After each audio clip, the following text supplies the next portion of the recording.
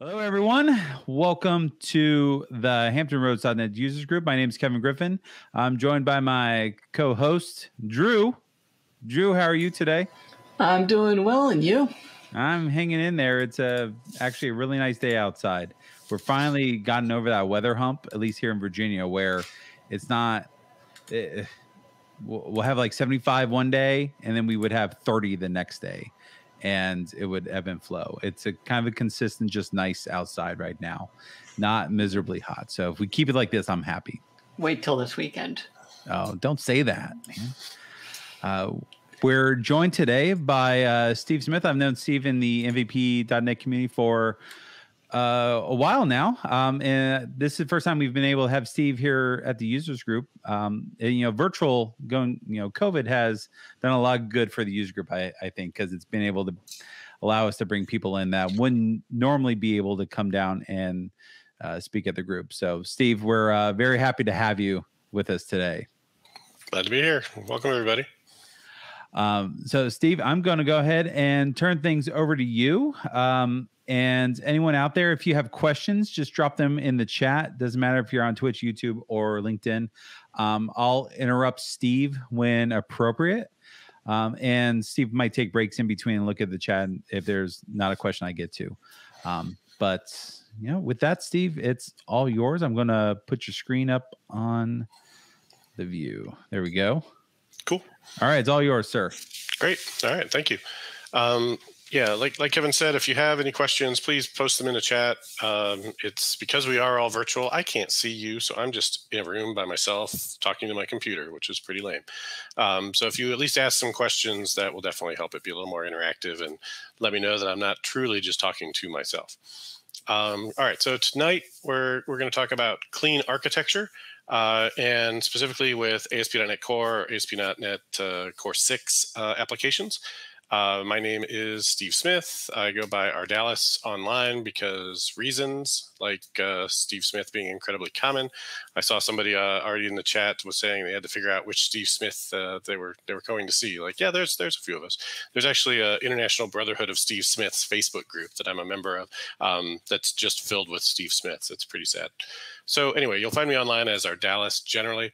Uh, you can also hit me up at Nimble Pros, which is my consulting company, uh, if you need any training or help with uh, architecture and .NET and things like that. We are helping a lot of clients move from classic .NET to .NET Core, .NET 5 or 6, and, and usually the cloud somewhere in there too. All right, so let me find wherever my PowerPoint controls ended up. There we go. Um, here's some resources uh, that might be helpful to you if you're interested after this talk. Um, my Pluralsight course on domain-driven design I did with Julie Lerman. Uh, we've actually done it twice. There's a, an original one from 2014 and then a new one that's all .NET Core uh, I think it's done at 5, um, came out last year. And it kind of shows this architecture in practice, uh, not one app, but several applications that talk to one another in a distributed architecture. Uh, so it gives you a really good kind of real worldish uh, insight into how you would set this up in a, in a real application. Um, I have a book uh, that's for free that has been out there for a while now on Microsoft's eShopOnWeb site. Uh, it's this cover here. I won't read you the title because it's a paragraph long. Um, but it's it's a good overview of some of the principles of how to build applications like this with .NET Core, .NET 6. Uh, I mentioned Nimble Pros, and I also do uh, mentoring on DevBetter for software developers. Um, I have a podcast. I have a newsletter. Uh, the podcast I haven't posted to a lot recently, but the newsletter goes out every Wednesday. Uh, you can sign up at my website, ardalis.com slash tips, and that's it for all the stuff I'm plugging.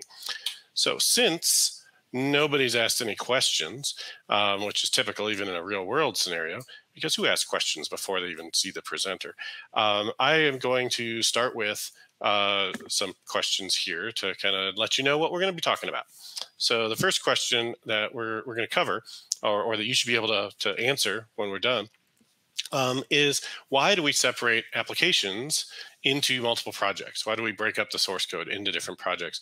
If we do it all, right? We could just put everything into one uh, web project if we're doing ASP.NET, uh, and and that would work too, right? So there's there's got to be some reason why we want to break this up.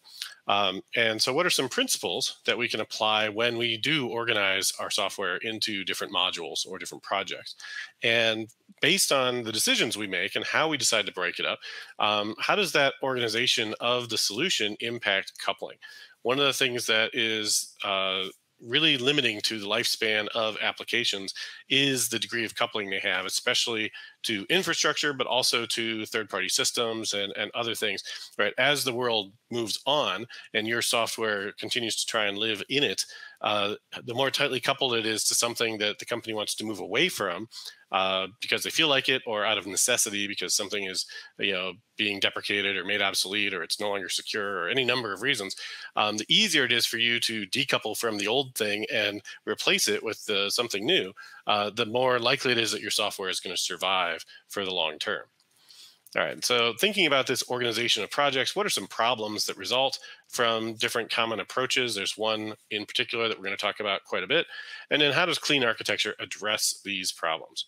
And then if you're still using web forms, if you're still using ASP.NET MVC, um, and you haven't yet moved into ASP.NET Core, which I think most people have by now, um, how does ASP.NET Core help all of this? All right, so that's kind of a quick overview of like, this is what you can expect to learn after we're done with this session. Um, I am gonna go through some slides to cover a lot of the, the high level stuff, and then we're gonna dig into the code and basically spend as long as you want, or as long as Kevin will, will stick around, um, kind of looking at the code and answering questions about the code uh, once we get to that point. All right, so I have a, a, couple principles here that I want to talk about before we, we jump into why we want to organize things the way we do. The first fundamental principle is separation of concerns. And separation of concerns um, is, is one of my favorite principles because it applies very widely in software. Um, a few years ago, uh, my company Nimble Pros made these calendars. Uh, this is one of the images from the calendar. It was a software craftsmanship calendar, and you know we actually set up our refrigerator at the office to to look like this. Uh, and so the the basic idea here is you don't want your plumbing code to be mixed in with your user interface code and certainly not with your business logic that is the main thing your application is supposed to do. Um, just like you hopefully don't organize your kitchen uh, this way in, in terms of where you keep your Drano and your toilet plunger uh, versus your steaks, uh, you don't want to organize your code so all that stuff is mixed in either. Uh, we want to put those things where they where they each belong. All right. So with separation of concern, we want to avoid mixing different responsibilities in the same place, whether that's the same method, class, or, or project level. Um, the the big three that you tend to see most people deal with for separation of concern um, is data access, business rules, and if you're doing domain driven design or DDD, then we would also talk about your domain model, uh, as well as the user interface. So generally, we want to try and keep at least those three things kind of at arm's length from one another and not uh, intermingle all the code and end up with spaghetti code that mixes all three of those together in the same you know block of code. Okay. So then the next principle that, that kind of goes along with this, and if you follow separation of concerns uh, well, then you'll all automatically be following this one too, and that is the single responsibility principle. And the single responsibility principle basically suggests that we want to avoid tightly coupling our tools together. We want our tools to be fit for purpose and to be able to change them independently from one another. Uh, you could make uh, a Swiss Army mouse like this, like a wired mouse that has all these tools, uh, but it wouldn't be the most useful thing you could do because you know it's not going to be very good at most of those things, and you're going to be limited to like how long your USB cable is in terms of how you can use it.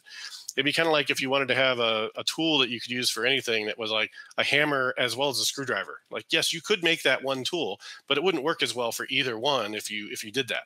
Um, it's better to have things that are fit for purpose and designed to do one task. So with single responsibility in our code, we want to make sure that our classes each focus on one thing that they do. And that means that they only have one reason to change, which also means they're not going to get broken by a change that impacts some other responsibility that some other class is dealing with. Uh, we're seeing this being applied not just at the class level these days, but on larger distributed applications. That's where this whole architectural concept of microservices is coming from, is that we want to be able to deploy units of behavior and then not have to touch them again when we are adding additional behavior somewhere else. Right. We want to be able to have things that are stable and don't break while we make changes to another part of the application or the system. All right. Um, then the next one is the don't repeat yourself principle. And the don't repeat yourself principle is one that you've probably heard of as, as dry. Uh, and it's obviously very fundamental to software. If you follow the don't repeat yourself principle, basically what you'll do is you'll identify repetitive code in different places. Maybe it was copy pasted, or maybe you were just doing the same thing again and again uh, in a few different locations in the code. Um, and you can take those and you can refactor them into functions, generally, is the first step. Um, and then you can take those individual functions and group those into cohesive classes. And then typically you organize your classes into folders, namespaces, and eventually even projects um, as a way to just organize your code in a logical fashion. Now, it's worth pointing since I talked about uh, coupling that every time you eliminate duplication, you introduce coupling. All right, so you want to be careful you don't blindly get rid of every bit of repetition in your code base where you might just have some repetition that is coincidental like yes these two things happen to look the same. They're actually you know identical sets of code right now but they're completely you know separate from one another and that's a good thing because they're going to evolve independently. Um, if we took that code and we put it together into a common function and we had like five different pages that all depended on it and then one page needs to evolve in a new direction what do we do? Well now we probably what a developer is going to do is go into that shared function and add some if logic that says, well, if it's this page, do this. If it's that page, do that. And now instead of having, you know, simple code in five different places that can evolve independently, you've made it so you have one big complex chunk of code that everything depends on. Um, it's not necessarily an improvement. So be very careful and mindful about when you're eliminating duplication that you're doing it for the right reason uh, and it's only truly common code um, that everything should share that you end up doing that with now, it's worth thinking sometimes about the software you're working on, other ways that you could group things, other ways that you could organize things. Um, if we were together, I'd say, give me a show of hands. How many of you in your, you know, ASP.NET Core or even ASP.NET uh, MVC projects have a folder called controllers, or a folder called views, or a folder called models, right? All those things that came in the template most developers just kind of like do file new project, look at whatever's there and say, okay, and then drive on. And that's the structure. But that's not the only way that we can organize things. Uh, in fact, there's definitely better ways. The, the problem was Microsoft didn't know what you were building. And so they had to put something somewhere. And so they came up with these super generic folder names that aren't really specific to any particular project. Uh, which means they're not really good for any particular project, really. Uh, and so it's it's a good idea for you to to group things in a in a way that makes more sense for your application. Some other things you might think about, and we're not going to spend a lot of time on these tonight, um, but just as a as a exercise or as a, another way to look at how you could group things. Um, you could group things into aggregates if you're using domain driven design. Uh, aggregates is a design pattern that lets you group uh, different entities together as as a unit of uh, kind of like a unit of work, but not that pattern. Um, and and then you can group those inside of your your model or inside your business layer. Uh, features is another super common one. It's very effective. Um, you can group things into features um, all the way through all the different projects that you might have. Uh, at the very least, organizing things by feature in the UI project is uh, usually a much better way to go than just having generic top level things like controllers and view models and things like that. Um, and then in domain driven design as well, they have a, a, notion of something called a bounded context, uh, which is very useful for keeping things isolated from one another. So your code doesn't get too big and, and complicated um, trying to do all the things in one place bounded context and microservices really go hand in hand as well. Ideally, you'll have a one-to-one between your bounded context and your microservices. It's not always true. There's certainly exceptions, but it's a it's a general good good way to, to think about it. All right. So now the last principle I want to talk about is the uh, dependency inversion principle. If you've heard of solid, um, the dependency inversion is the D of solid, where single responsibility was the S. And the idea with dependency inversion is to uh, let us eliminate some of that coupling that I'm talking about. You wouldn't want to have your your lamp or your computer or other you know things in your house that need electricity to have to get you know soldered into the wall uh, in order for them to get power right? It's really convenient that we can just plug things in and unplug them and as long as you are in the same country you know generally you're using the same interface for all of your uh, electrical outlets, maybe with a three prong adapter. Well, it turns out that in software, we have these things called interfaces too. We even have a design pattern called adapter, um, and it works exactly like the plugs on your wall do. And it lets you, if you use them, um, plug and play literally uh, your software and the services that it consumes in a much better fashion than if you hard coded them. Now, what does hard coding them look like in software? Well, that would be if you just newed up the the concrete implementation that you wanted, right? Anywhere you are newing something up, you're gluing yourself to that particular implementation. Uh, I have a blog post I wrote a long time ago called "New is Glue." Um, and so every time you new up a class inside your code, just think in the back of your head, new is glue, right? I'm now glued to that particular instance. Um, and if that's services and and you know infrastructure dependencies that you're instantiating, consider if there's maybe a better way to do that through the dependency inversion principle. All right, so the idea with dependency inversion is um, that you want to invert the dependency and then inject the thing that you need. That's using dependency injection, which you've probably heard of, uh, which is also known as the strategy design pattern, which you may not realize is the same thing. Um, so in order for this to work, you need to have abstractions. Generally, when you're talking about abstractions in C Sharp and .NET, we're talking about interfaces. Could be something else, could be just a base class, but usually interfaces are more flexible. Um, because you have high level classes that are asking for their dependencies and implementation detail level classes that are implementing those interfaces, we end up with this situation where we have both high level and low level classes depending on these interfaces. That'll be important when we think about how we're going to organize our software um, because of the direction of that dependency.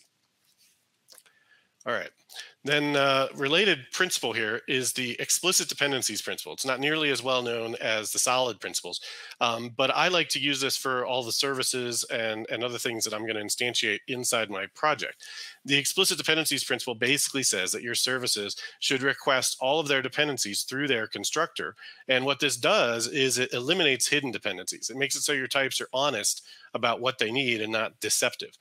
Um, it's very frustrating for me when I'm working in a code base and I need to do X and I quickly, you know, scan the, the code and see, is there already something that does that? Oh yeah, there's a service. It's got X. Okay. Well, I can just hit it up in IntelliSense and see, oh, there's this service that says do X uh, and, and its constructor doesn't need anything. Perfect. So I can just new that up and call it uh, and go home early because I didn't have to write that code. Somebody else already did it. Well, then when you go to run it, what happens? Well, at runtime, it says, oh, I need this config value. Oh, I need to access this file. Oh, I need a connection string to Azure Blob Storage, blah, blah, blah. Like, you know, depending on what it is, it's probably got some dependencies in there that you didn't know about. They're not in the constructor. So short of you looking through every line of code or maybe scanning the using statements and hope that, you know, those give you a clue, there's no way for you to know what dependencies something actually has unless you are requesting them in your constructor. And it's a bonus that when you follow this principle, it makes it really easy for you to unit test these classes because all of the things that they need are in their constructor. So in your unit test, you can create them and you can pass in real versions or you can pass in fake versions or mocks or whatever you want. Um, it makes it really easy to isolate these services from one another so that you can test them. Okay. So we've talked about where these interfaces uh, are used. And so that means if they're going to be accessible by low level services as well as high level services, um, and the, the user interface entry point needs to be able to, to wire these things up, that means they've got to be accessible basically from everywhere in the application. Um, and so that's going to inform where we want to put our interfaces and our abstractions in our final solution design. But before we jump to that, let's talk about one more quick thing with how interfaces help our design. And that is the difference between compile time references and dependencies and runtime uh, execution flow.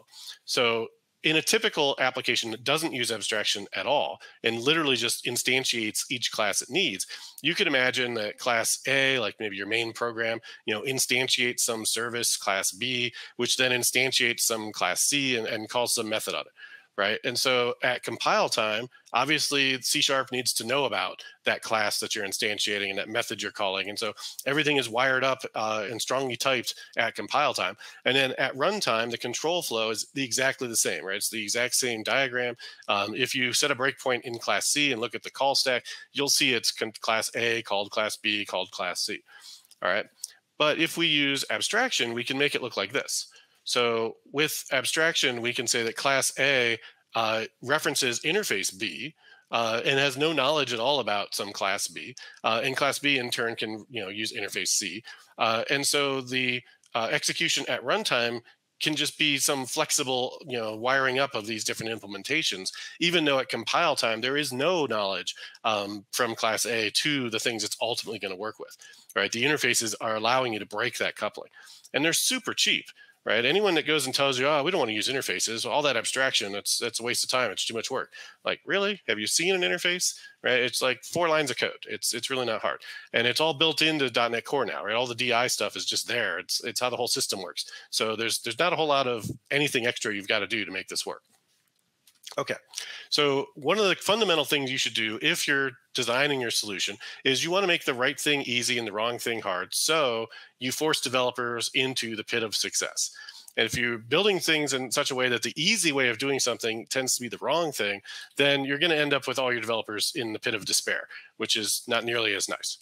All right. So when we're trying to make the right thing easy and the wrong thing hard, one of the things we want to do is make sure that the UI classes don't directly depend on infrastructure classes like data access, file access, cloud access, whatever. So, you know, how do we structure the solution so that we can enforce that? Um, similarly, our business and domain classes shouldn't depend on infrastructure stuff. So, how could your solution enforce that as well? Um, and then lastly, we want to make that repetition that we're trying to avoid uh, easier for us to apply than copy paste right? We want to find ways to implement cross-cutting concerns in a way that doesn't involve copy pasting code from one place to another. All right, and I think I've got some questions. So let me take a quick sip of water. And Kevin, you want to tell me what we've got?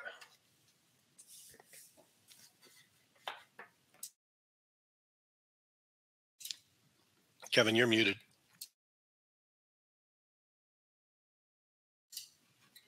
Kevin, you're still muted.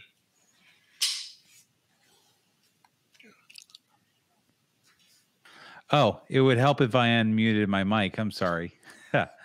so, I'm all right. Uh, what are your thoughts on resolvers? So, classes or objects that have access to the DI container, but don't aren't necessarily um, uh, things aren't being injected directly; they're being resolved at runtime. Usually, you want to avoid those in most places. They might have a place in factories. They might have a place if you're writing framework code. Um, it sounds like that is describing kind of the service locator pattern, which is yeah. generally considered to be an anti-pattern, although there are exceptions.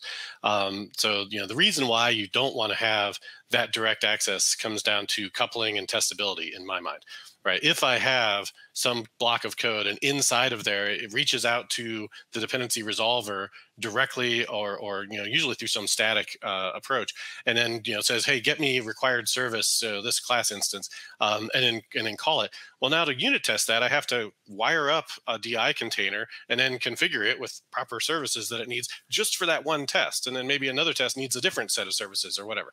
Um, whereas if it was just coming in from the constructor using the explicit dependencies principle, it's way easier for me. I just new it up and pass it what it needs, right? I don't have to do all this extra, you know, infrastructure work just to unit test. Uh, and I think that's all we have question wise. So cool. All right, so you're good. I think that was Nick the first one. So Nick, if you had any follow up on that, you know, like where exactly you want to use resolvers that you know is going to make it easier or better for you than if you were to just use uh, constructor dependency injection, let me know. Um, and real quick, I should also say um, there's a reason why I prefer constructor dependency injection, and that is that it forces the object to be in a valid state from the moment that you create it. Right? There are other ways that you can do dependency injection. There's property-based injection. Um, where you have a, a, property that represents this class that you need or the service instance that you need, uh, and you rely on the consumer to set that property at some point, right? But what if they don't, right? If they don't, well, then you're just in an inconsistent state, and you'll just blow up with a null reference or something when when someone tries to use you. Uh, so it's not nearly as discoverable. Uh, this comes back to that pit of success thing. If you force them all through the constructor, there is no way for them to do it wrong right? There's they can't they can't forget, right? Um, and then the other one is method based, and I do use that sometimes. Um, the problem with method based uh, dependency injection is it doesn't have any tooling support. So all you're really doing is kicking the can up the road, and now whatever is calling you needs to request in its constructor the dependency so it can pass it to the method. Um, and if you do enough of that, it gets really nasty, and your all the consumer constructors get really big uh, for no really good reason other than just pass them along to the to the method. All right, more from Nick. Yeah, he's saying uh, they use it in um, more in a factory or similar types. They cycle dependencies uh, in runtime based on different forms, and it's wrapper. It's a wrapper around DI container. So I lifetime scope and uh, with sorry, and with interface injected, it can be mocked in tests. So seems like he's has a slightly more complicated Yeah. Using it using it in a factory and also the fact it sounds like he's uh, allowing it to change dependencies at runtime uh, and not restarting the app which is typically what you would do with with a web app um, it sounds like that might be a, a perfectly reasonable place to do what he's doing.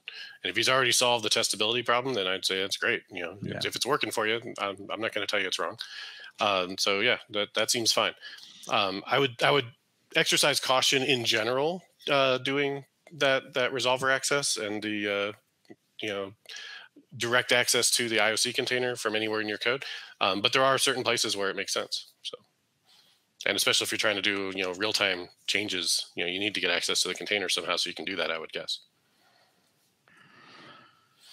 All right, I see some further discussion going on with other people there, but I'll let them have at that, uh, and we'll, we'll keep driving on here. Okay, so right. we're going to jump to uh, another type of architecture, and this is one that many of you are familiar with. This is called uh, N-tier architecture or, or classic N-tier, uh, sometimes called N-layer, um, and this has been around for over two decades. Uh, it's it's a pretty uh, old school way of, of organizing things. It was the de facto standard way of organizing things for web forms applications and VB6 for that matter too. Most most client server type .NET or, or Microsoft apps um, from like the late 90s until about maybe 10 or 15 years ago um, were, were using this pattern and many of them have lived on uh, and, and i'm sure people are building new apps that use this pattern today. Right here's uh, a screenshot. This is from microsoft's old msdn website the microsoft developer network uh, that they don't have anymore um, from around 2001 and i actually included this exact image in my very first conference talk in 2001 um, which which sadly was about two weeks after the 9/11 attacks in uh, September of 2001. And so my my conference talk uh, had very few people in it because nobody wanted to get on an airplane at that time. So I remember uh, very distinctly I had six people in the room. So this is a bigger talk than than that was. Um, but it was on this. It was on like you should move from having everything inside of one you know VB6 form or one ASP page um, and break it up into these different layers and it had a lot of benefits right? You know if you had everything together you know you had this spaghetti code where all the stuff was in one place and it made it really difficult to maintain it made it really hard to expand the team um, and be able to have multiple people working on something big and complicated at the same time which kind of limited your velocity. Uh, and so there were good reasons why you would have a data access layer as a separate thing and a business layer as a separate thing. Um, but the big problem with this that that we weren't using very much at that time was it didn't have any abstractions. Um, and so what it meant was that, you know, obviously the data layer uh, is going to have a, a dependency on the database here. Um, and each one of these other projects depends on the next layer below it. That's how it's supposed to work. Uh, you want to avoid sort of end run uh, where the UI layer like directly talks to the data access layer or directly calls the database. Um, and so each one would call through the layer below it. That was by design. Um, but all these dependencies are transitive. So since the data access layer depends on the database, that means the business layer does too, and the UI layer does too. And if you go in and you say, hey, I want to do some of that automated testing I've heard so many good things about, it is a real pain. Um, because everything depends on the database. And I've been there. I've spent a lot of time trying to test apps that were built this way, some of which I built this way, uh, and and it just sucks the life out of you. It is it is not fun right? And if any of you are uh, not a big fan of testing, um, ask yourself if it's because you had to test something that was just this painful to test. Um, that might be why. Uh, if you find yourself testing stuff that is properly architected and is testable, it's actually kind of fun, uh, and you can you know go through it quickly and not feel like you're you're trudging through mud. Um, and so that brings us to this domain centric design, which is uh, a much better way to organize your code from a dependency management standpoint. And so domain centric design uh, is, is one thing that I call it that, that is related to clean architecture. Um, it involves taking the domain model or the business layer, the business rules, uh, and putting it at the center of, of everything, of the whole app. Um, and so inside there, it's not going to be just business logic, but if you're following, you know, sort of domain-driven design principles, it's going to be a model of the problem space that you're trying to solve. It's going to have abstractions and entities and services um, that have to do with that problem space. Now, the interfaces that you define here are going to be written uh, in the context of these domain entities and types, right? So that means that the, the return types from the interfaces should be these, these business objects, uh, and their parameters generally should be these business objects, or you know they should be you know just built-in types like lists or generic collections or um, you know ints and date times and strings. What they shouldn't be is a DB context or a SQL data reader or a, an Azure Blob storage service, right? They shouldn't be infrastructure specific um, things. They should be generic and, and at a higher level of abstraction. It's just your uh, your business model. Okay. And then everything else in the application, including all that low level plumbing code, depends on these interfaces and these domain objects. So this is where we invert that dependency. We say instead of having the business layer depend on the data access layer, um, we're going to have the data access layer depend on the business layer, right? We're going to flip it. Um, and so that's what the heart of clean architecture is really about. Um, it's very similar to onion architecture, which Jeffrey Palermo made popular in a series of blog posts about 12 years ago. Uh, hexagonal architecture predates that, uh, and ports and adapters even predates that. Uh, and so there's it goes by many different names, but they all follow the same basic principles. Here's an example of onion architecture where in the middle you've got these domain entities that you access with these repository interfaces, and you call things through service interfaces perhaps. Uh, sometimes there's an application layer involved with those services. Um, and then around the outside in the purple layer, that's where everything else is. That's where all your test projects are. That's where your UI projects are. Um, everything else is, is outside, depending inward on the domain model. Looking at ports and adapters, um, this is a diagram for that. You can see in the middle, you've got this domain layer. Again, there's an optional application layer that the application works through. Uh, and these little purple circles that they call ports, those are the interfaces right? Those are the interfaces that you expose that then other classes are going to implement as adapters or uh, providers, if you like. Uh, and so an internal persistence port that says how I'm going to save and retrieve uh, the business types from the, a data store uh, might be satisfied with an in-memory implementation here in the top right, uh, or you could have a remote database, or sorry, relational database uh, system like SQL Server or Oracle or whatever as another way. and you can swap them out, right? So at runtime, you can pick which one of these to plug in, um, and your system doesn't care. You know, the domain layer doesn't even know what types there, there are of those. It only knows about the abstractions and the ports that it exposes. Um, so this becomes a very, very flexible way to structure your application, and it lets you plug in different implementations for how you want to work with other systems. It's also extremely testable. All right. Um, are there any questions coming in that I should jump on? I see a lot of stuff going on in the chat. Uh, there's a little bit of chatter about uh, different things. Um, all right, here was a question. Uh, what about when your constructor have the same services like iLogger, iMediator, iMapper? Would you not wire this up to a DI property injection, or would you still do it through a constructor? That is an excellent question. Um, and my answer is uh, remember, I'm a consultant. It depends. And uh, the reason why it depends in this case is whether or not I'm the one that's going to be creating these services or if the framework is going to create them. If the framework is going to create them and I'm never going to, then I am okay to, to make an exception to the rule and use property injection. So specifically when I'm using uh, controllers, and I'll show an example of this at the end of this uh, presentation, um, it's if I'm using mediator with controllers, I will make that a property on a base controller. Um, and then it's available for every controller.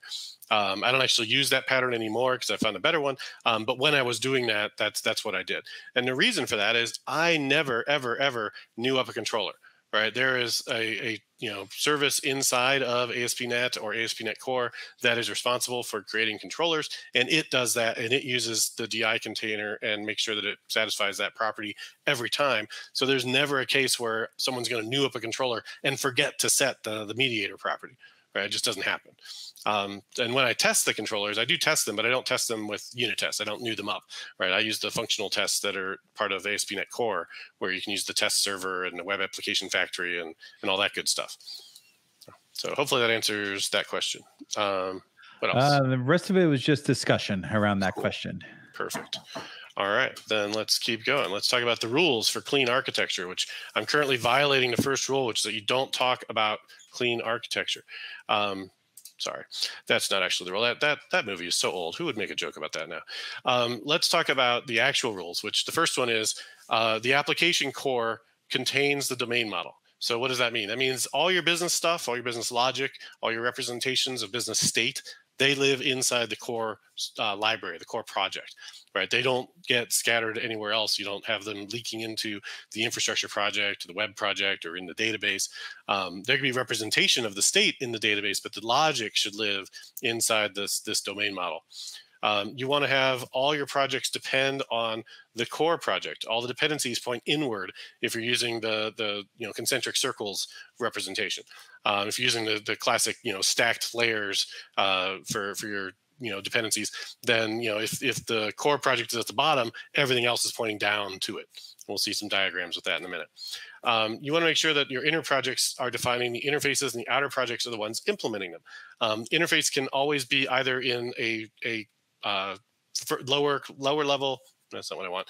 Uh, closer to the center um, project or in the same project, right? It just won't compile the other way. If you try and define an interface in, let's say, the web project, and then you want to implement that in the core project, it just won't work because the project references won't let you do that. And then uh, you should avoid direct dependency on the infrastructure project. The infrastructure project is what I call the project where I put all my infrastructure implementation code, right? So it has data access and email sending and file access and cloud access, all that stuff that talks to other things that aren't my program lives inside that infrastructure project. And I don't want to directly depend on that from um, the the uh, other parts of the application, like any of it. Okay, so then let's talk about some of the benefits of clean architecture, some of the features that it has. Um, it is framework independent, right? So these hexagonal and ports and adapters things, those weren't Microsoft people and .NET people coming up with those. Those are patterns from you know Java and, and from other disciplines. Um, they've been around for a while. This is a cross-cutting uh, way of organizing code, uh, and so it doesn't matter if you're using .NET or not. You can still apply these architectural principles to any any language. Um, it also is obviously database independent. If you follow the clean architecture approach, you are going to write code that 99% of the application doesn't even know if there is a database not much less you know what which specific database it is. Um, and that is incredibly liberating for how you're going to write your c sharp code because you're not locked into a particular database or relying on that store procedure or this trigger or some other database specific functionality right? All the stuff you care about and need is at your fingertips inside your c sharp code uh, which is really nice it's also UI independent. Uh, we're going to talk about it in the context of ASP.NET Core, but um, it doesn't really care, right? You can use clean architecture in uh, any any number of different front ends. And like I've harped on a little bit, you might uh, understand that I'm a big fan of testability, mostly because I, I, I hate inefficiency. Uh, and I don't want to have to test the same thing manually over and over again or pay somebody else to do that when computers do that really well. Um, and so I'd much rather let computers do what they do well so that I, I'm freed up to do things that, that a computer can't do. Okay, so let's say that you are curious or even convinced that clean architecture is worth a shot, but you already have an application and it wasn't necessarily built using clean architecture. What can you do? What if you want to refactor to it? Um, obviously, the easiest way to start is from the beginning. So if you are starting brand new with a project you haven't even begun yet, um, or if you're already, you know, have someone has decided that a rewrite is the right way to go, usually it's it, it, well sometimes it's right but a lot of times it's not. Um, you know in any case you can start from this template. So we're going to take a look at this template. Uh, it basically has everything laid out for you how you need it. Uh, it's a good starting point for you. And your next best is that you already have an application and it's all in a single project the reason why this is nice is because you don't have to worry about inverting any dependency directionality, right? Everything is in the same place, everything can get to each other. Uh, and so it's pretty easy to, to pull out the bits that need to go where um, inside of the, the clean architecture structure uh, and get it all to work correctly with, without too much effort, right? It'll take amount of time based on how big the project is, uh, but it won't be as painful as the last option, which is you already have a big existing investment in an architecture that is organized in an n tier structure, which is to say the wrong way. Uh, and you have a whole lot of dependencies going from the user interface to the business layer to the data layer. And now we've got to flip a lot of that stuff. Um, that's going to be a much heavier lift. Uh, if you're not confident in your ability to, to take that on, it might be worth bringing someone in that, that does that kind of thing uh, or has some experience that at least get you started on the right road. Uh, and then, you know, you'll be good from there. So those are those are my ideas on on this. Um, it's it's easy, low hanging fruit if you're starting with something new. It can be harder if you have a big system that's not following these these principles. Okay. Um, let's talk about what goes where a little bit more deeply, right? So you're going to have this core project at the center of the application. The core project is just a class library, uh, and it's going to have a bunch of classes in it that don't have any knowledge of you know the platform that you're running on. You know, it's going to be .NET, but you know they don't they don't know uh, even if you're on Windows, right? They don't know if you're talking to SQL Server or not. They don't know if you're in Azure or Amazon. Um, they, they should be agnostic to all those decisions. It's just code right? So in here, there's going to be your interfaces that we talked about. There's going to be your domain model, which is going to be consisting of entities, typically at a minimum. Um, you might also use value objects. You might also use aggregates. These are DDD patterns that can be very useful in breaking up your uh, complexity in your system. You might have some services. That's pretty common. If you're using entities, you want to try and put behavior with the entities if you can. Uh, if you start going down the path of writing a lot of services here, uh, it can end up with your entities not having very much behavior at all and having to expose all their state uh, because they have to share it to the services to be able to do the work. Um, so be careful of that. If you find yourself writing most of your logic in services and not in your entities, um, that's usually a, a sign that you have some design issues to, to think about. Um, I'm a big fan of custom domain exceptions. So those would go in your domain model as well. A domain exception is something that just should never possibly happen in your in your abstraction of, of the problem space. Um, for instance, maybe you are saying, uh, I've got an e-commerce system and the user can check out, but they should never ever uh, check out when they have a, a cart that's empty right? So on the cart.checkout method, right, there's some exception that throws that says, you know, cart empty exception. Um, now, why would you want that to be an exception? Because you have a premise in your code that there is no way ever in any pathway in your code that that method should ever be called with an empty cart right? And if it is, that's a bug, uh, and you should be able to find that bug very quickly as soon as you see that exception. Um, and the other place where these are nice is where you know that something is going to end up being a null reference exception.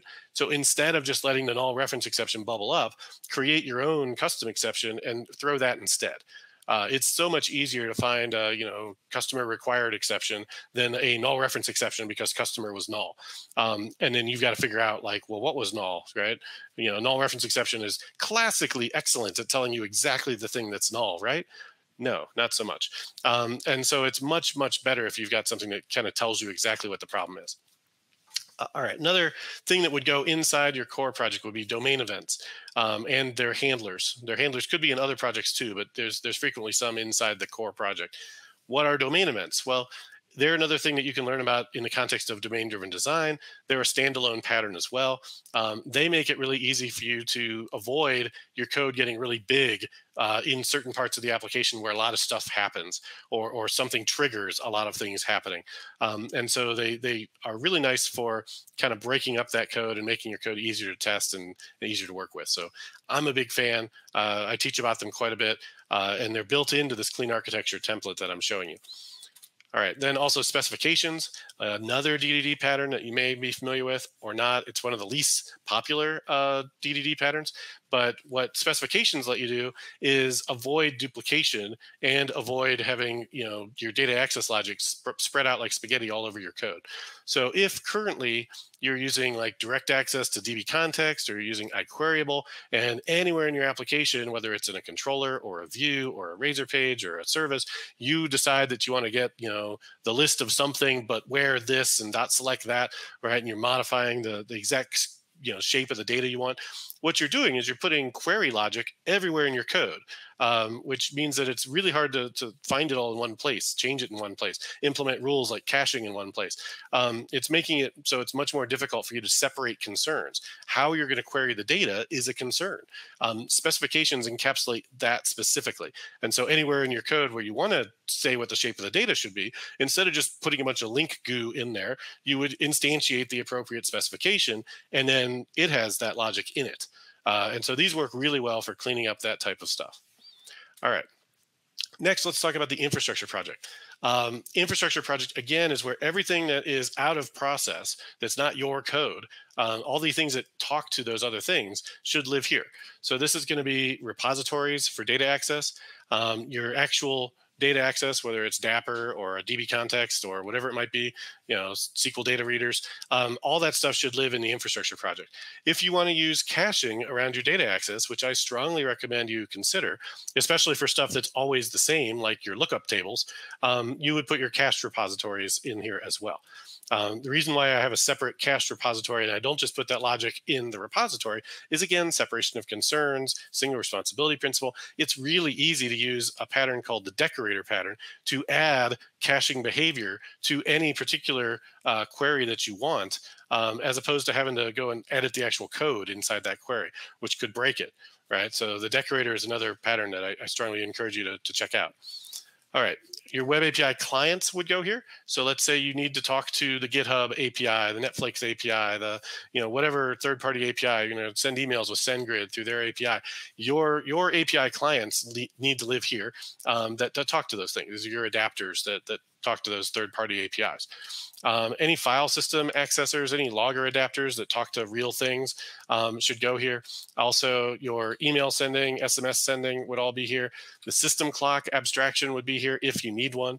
Um, and so, you know, in your code, if you have logic that depends on what time of day is it or what day of the week is it, um, that code ideally should not be depending on datetime.now because that means if you try to write a test for it and it says, well, here's this test that says, you know, during the day, I'm going to send you a text, but at night, I'll just send you an email. Right. Well, I can write a test that says, you know, from nine to five, it uh, sends a text, and then I can run that test between nine and five, and it works. But then at 5:01 p.m., the test fails um, because it doesn't do the right thing that I expected. Uh, so it's you know obviously not the great greatest test if it only works some time of the day uh, and so if you pass in some you know date time abstraction then you can write a test that's uh, you know fakes out what time it is instead of having to you know rely on the actual clock on the box uh, it's a much better way to go Okay, and then other services would go here along with uh, possibly interfaces. And so these interfaces and services belong here if the signature of the interface and the corresponding service uh, is depending on these infrastructure things, right? So if you have something that you know returns a uh, I don't know Azure Blob Storage something uh, as as the return type on this service, that can't go in the core project because it would then couple the core project to Azure. But it can certainly go in the infrastructure project, and the service that implements it would go there as well. All right. Any questions here? I see a bunch of good chat happening, at least on on Twitch.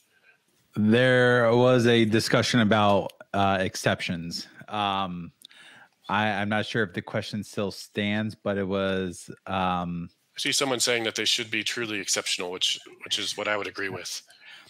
Um, would you use exceptions or just try to find other ways to enforce logic? Um, I think the chat was kind of getting to uh, you know, exceptions are your worst case scenario. If you can do other validation to um, return a, an error result or something, do that before you eventually get to the exception. But you know, throw the exception if it's the worst case scenario. Yeah, you use exceptions for things that should never happen in your code. Um, so, like you know, if you have a dependency, like this service only works if you pass it in these other services. Um, you know, if it's all being done by DI, like if it's in a controller, you might not even have to check it, right? Because you know the DI is going to say, hey, I, I, can't even create the controller. I don't have this service. Um, but if it's a service that you might create yourself somewhere, then it, it is pretty common to use guard clauses, which I'll talk about in just a second, um, to make sure that those things are not null. Uh, you might also use guard clauses for other things like making sure input is in an expected range or, you know, looks like the right thing. An email address needs to not be, you know, empty or, or something like that. Um, validation and exceptions go you know sort of hand in hand and there's um, you know there's there's reasons why you might or might not want to use exceptions. Uh, if at the end of the day you're going to return back some kind of an error code to the user like a bad request then it doesn't really matter if you used an exception or not right? The, the you're not going to process their actual request. Uh, and so there might be a you know marginal benefit uh, in terms of uh, performance on the server uh, to, to returning a code versus actually throwing an exception. But the idea is that the code is failing um, because it's it's not doing what it's supposed to do. Uh, and so if you could fix it, then then avoid the whole exception thing, right? If you can take the data, realize it's not quite right, and then put it into a format that you can accept and drive on, then that's that's fine. Don't don't throw an exception. You can you can handle it. Um, but if the at the end result is that the, the program execution needs to stop, there's either a bug in your software or the or their client has given you invalid input. Um, in either one of those cases, an exception is usually the right thing to do. Um, and you generally shouldn't have too many of those relative to the happy path in your code right? Like most of the API calls that your SPA is sending should be correct because the SPA should be making sure that the stuff is all valid on the client. And so the only people that should be getting these bad requests uh, generally should be people that are you know hammering at you on Postman trying to break stuff, um, not your regular users that are you know going through the the UI that you've handcrafted to be you know putting them on on the rails. I think that's all we have at the moment. All right, cool. Yeah, there was a lot of discussion about exceptions. So, Good. It's a good. all right, topic. I think we're good. All right. So that was the infrastructure project. There's one more, which is the web project. And so this is your ASP.NET Core web project that you all know and love. Uh, in here, you're going to have all the the web stuff that talks to the, to the user. That might be controllers and views. That might be Razor pages. That might be APIs. Uh, whatever that is. Uh, then you're going to have your DTOs, your data transfer objects. These are the things that all those things work with. So these are view models or API models or binding models. They they tend to call them models, but they're basically just DTOs, right? They're just data that we're going to bind to uh, or serialize to JSON and send over the wire. Um, and so all those things belong in here as well because the things that they're being used with, the API endpoints or the views or the Razor pages, they all live here too. Uh, and they're very much you know web concerns. Uh, they're not something that belongs in your domain model. Your domain model doesn't care what the specific set of uh, DTOs are for you know that Razor page or, or that view that you're going to uh, bind to.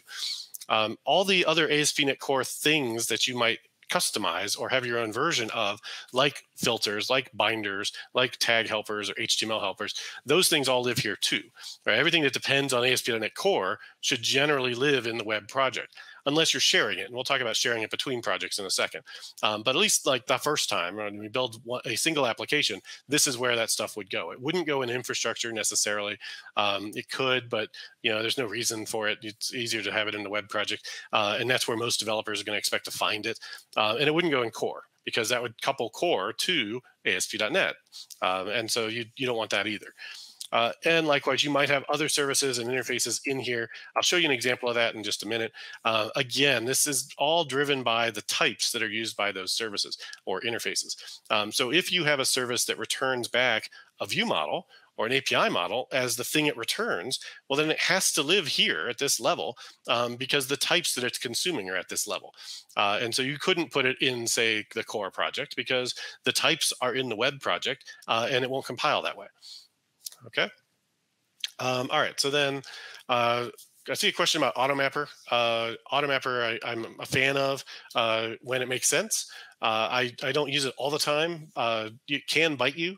Uh, so just be aware that AutoMapper uh, if you change if you change the model, Automapper might do stuff automatically and, and not blow up and not tell you um, that you know you added something on one side but not the other, uh, and it just drives on, and you know you might not find that for a while unless you have a lot of good unit tests.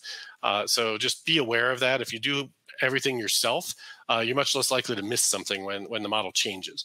Um, so with with that caution in mind, I think Automapper can be a great tool. Uh, and if you do find that you know you have a fairly simple CRUD application and you're following good practice of not exposing your entities directly over to API, um, which you absolutely should never do, then Automapper can save you some boring code of, of taking your customer entity and turning it into a customer DTO that looks really similar uh, but isn't the same exact type. All right. Okay. Um, now, what if you have multiple solutions? Your organization doesn't just have one web application, they have a bunch, or at least two, uh, and you want to share some things between those projects. There is a term in domain driven design called the shared kernel. And the shared kernel is a, a place where bounded contexts overlap.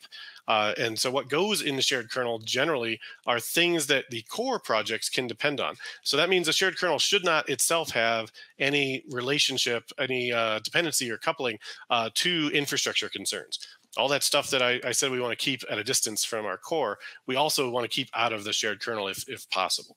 Uh, so things that go here are usually like base classes, uh, things like base entities, domain events, base specification, maybe some common exceptions that your company has. Uh, you know, everybody in the company uses this, you know, shared user account or whatever, and so there's certain exceptions that the user account wasn't valid or the user account was expired or whatever. Right? Those could all go here, so that every application could have a consistent way of dealing with user account uh, exceptions or whatever. Um, common interfaces could go here. Uh, common authentication, DI, logging, guard clauses, all that stuff could go uh, in the shared kernel. Now, you don't want to put stuff in the shared kernel that will break other applications. So if your team would like to have this thing that you know they want to put in shared kernel, but um, other other teams are also using that shared uh, package, and they would be broken by that and they don't want to change to to accommodate it um, then it shouldn't go in there right? It should have buy-in from all the stakeholders all the consumers of the of the shared kernel package should have a veto power over what goes in there. So it should only be stuff that everybody agrees uh, is stuff they want there and it's stuff they would use that would end up here. The other thing is, ideally, you want to use the NuGet package to share this, right? There's a lot of ways to share code in .NET. You can copy paste it. You can share it by just adding the same project to multiple different solutions. Uh, you can even do stuff where you have different repositories and you you know pull in uh, and by repository I mean Git repository, right? And so you have a, a linked Git repository that has the shared code that you pull in, right? Don't do any of those. Use NuGet. Uh, the reason why you want to use NuGet instead of sharing the files directly um, is because then then if you know you have multiple teams shipping multiple apps at whatever cadence they want and they're independent from one another which is all stuff that should sound very good to you if you're looking in the microservices because that's how microservices should be right? You want to be able to say hey we all agreed we're going to add this change to shared kernel um, and oh by the way it's changing a method signature. It's going to break that method signature um, and so team decides that they need that for them to go live so they make the change in the shared kernel and then they go live right and because they're using NuGet, they can version it. So maybe version one is what everybody was using, um, and now Team Alpha is using you know version two, and they ship and they're good and their stuff works in production. All the other teams' code still works in production because they haven't deployed anything, but they had something they were about to deploy too. So Team Bravo goes and deploys five minutes later, and they didn't take in that change because they're still on version one and you know this didn't have to delay them at all. So they still ship and they're still fine and they can revise up to version 2 whenever they feel like it right? Just like you do with all your other NuGet packages you aren't forced to take in every change immediately uh, and that flexibility really helps when you have multiple teams building multiple products in the same org. All right back to uh, guard clauses again. Uh, if anyone is not familiar with guard clauses here's what you don't want to do. Um, when you're doing any kind of validation of inputs at the method level and you're checking to make sure that they're not null or things like that null is the, the most common one. Um, there's a new feature coming in c sharp 11 probably uh, that's proposed where they're just going to add exclamation points to the variable name here. So this will be custom customer uh, that's that's interesting. I should probably say customer. Um, customer, customer, uh, bang, bang, uh, where bang is exclamation point. Um, that will automatically throw a, a, null reference exception if that thing is null. We don't have that yet. So here's here's some pretty common looking code for this. Now there's only two uh, arguments coming into this particular method, um, you can imagine if there were five or six that there would be a lot more nesting in here. And, and this little comment right here that says we're going to process the order, that kind of gets lost in the noise of all this other cruft. All right, and your cyclomatic complexity goes through the roof because you have all these different uh, else statements and things. So a better way to do this, what, what is the guard clause pattern, is just to fail fast, right? Do the check for the thing um, first, and if it fails, then you're done, right? Throw, you're, you're out of there. Um, and then once you've made it past the gauntlet of checks, then you just have the, the happy path is all that's left, right? There's no else clauses. Uh, I'm generally not a big fan of else clauses. So if I can find a way to avoid having an else by instead exiting, um, I will do that every time, right? It tends to make much simpler, much shorter code that doesn't get indented nearly as far. Um, so, so those are what you would use guard clauses for. Now, even this uh, is pretty repetitive code, right? And and there's about five different ways that you can throw an argument null exception right now, and that's before we add the bang bang syntax that's coming. So what do you do if there's five different competing standards for something? You introduce another standard. And so I have a NuGet package that is uh, guard clauses, and you can use this for a bunch of different things, not just null checks. You can even use your own custom ones, um, and all of them then will just look like this. You can say guard dot against dot, and then there's a list of things you might guard against, and then you just pass it in like this. And so it makes it much more consistent, in my opinion, um, than having every developer do it possibly a different way. Uh, and so you can try that if you want. It's a it's a popular NuGet package. It's got like three million downloads. Um, not nearly as popular as like AutoMapper, but you know it's it's been it's been used by a few people. Um, so you can check that out if you find that uh, worthwhile. Okay, so here's where we're at. Go quick ahead, quick uh, yeah. intervention. Uh, someone was asking um, there are actually two separate questions. One was, would you uh, use a customer required exception instead of a argument null exception here. Right for this one because I mentioned having like uh, yeah. special custom things. Um, this this one would probably be fine because I'm the one throwing the exception. Um, if inside a process order I wasn't doing the check at all, and you know it was possible that somewhere inside of process order it was just going to null ref on customer when I tried to access it, um, then then I might you know throw throw that. I don't know. I'm torn. Um, I, I could see it being either way.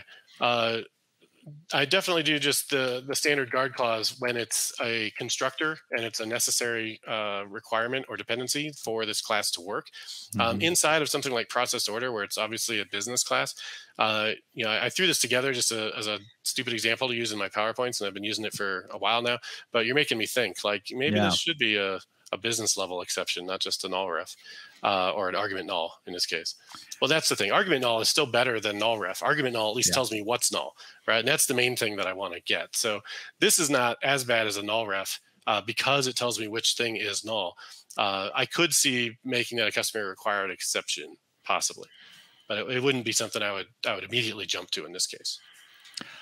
Uh, there's also a question. Uh, you're talking about guard clauses or basically preconditions for a method. Uh, are there examples of post uh, post conditions?